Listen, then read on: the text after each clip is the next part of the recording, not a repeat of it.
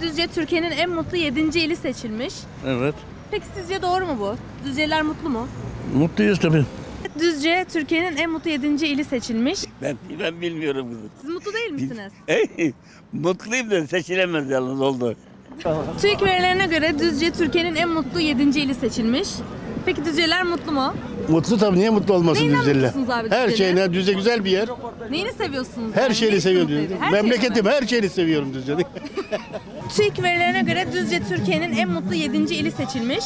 Ben buranın yabancısıyım. Hiç bilmiyorum mutlular mı. Akçakoca'dayım. Akçakoca'da olmaktan da çok mutluyum. Sizce Düzceliler mutlu mu? Bilmem mutludur herhalde. Siz mutlu musunuz? Ben de mutluyum. Peki neyini seviyorsunuz Düzce'nin? Her şeyini seviyorum. Vallahi 18 yaşımda buraya evlendim. Buraya alıştım bilmem. Düzce Türkiye'nin en mutlu 7. ili seçilmiş. Yapma ya. Evet. Peki sizce Düzceliler mutlu mu?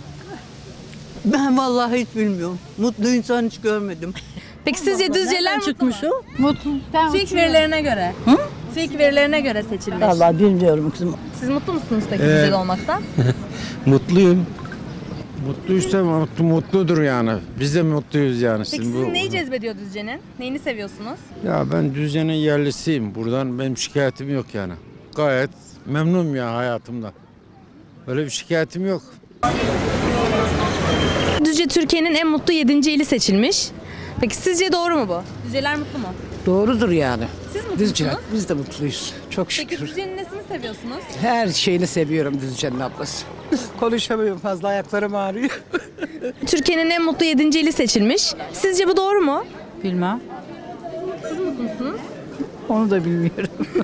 Şu an çok yorgunum. Sizce Düzceliler mutlu mu? Hem nasıl? Siz mutlu musunuz? Evet. Düzce'nin neyini seviyorsunuz? Düzce'nin şöyle düzgün olduğu için, bütün bağlantılar Türkiye'nin buradan gelip geçtiği için. Buradan mecbur geçecekler. Otoman yolu. Hem de şimdi belediyemizde şimdi burası ya, en yakın zamanda oldu vilayet. Şu anda burası çok iyi. Sizce Düzceliler mutlu mu? Alakası yok. Siz mutlu değil misiniz? Yok öyle yok. Neden mutlu değilsiniz? ne bileyim ben.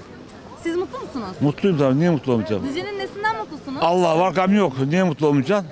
Eğer her şeye kötü şeyle bakarsan mutlu olmazsın. İyi gözle bakarsan mutlu olursun. Her şeye güzel bakacaksın, güzel görsen mutlu olursun. Güzel görmezsen mutlu olamazsın.